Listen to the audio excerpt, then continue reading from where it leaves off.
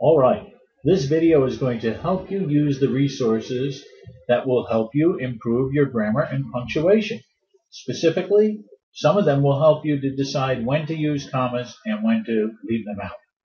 All right, so as we look at the navigation menu, from any page you could click that button and it will open up the navigation menu. Under the required handouts, we have these three handouts. Another way to get at them is through the video lectures, and that's what this video is really about. So if we click that, we end up right here, and the first thing you should do is watch this. It's about a one minute video. And we see this button, the handouts. And there are those three handouts again. Please go ahead and look at those handouts, all three of them, before you go any further. For instance, linking and helping verbs. Well, is would be a linking verb. If you write a sentence with the word is in there, you don't put a comma before that verb because it's a linking verb. All right, we'll come back over here. I'll collapse this.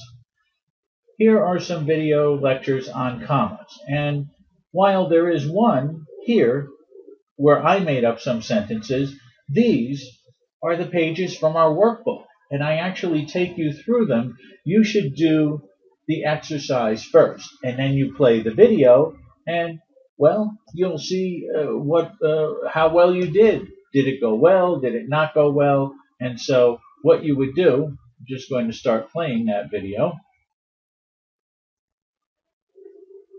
You would look up in the table of contents this particular page. For example, we see exercise P1-P2-6. Well, just find that in the table of contents of the book. You would do that exercise and then you could play this video and see how well you did.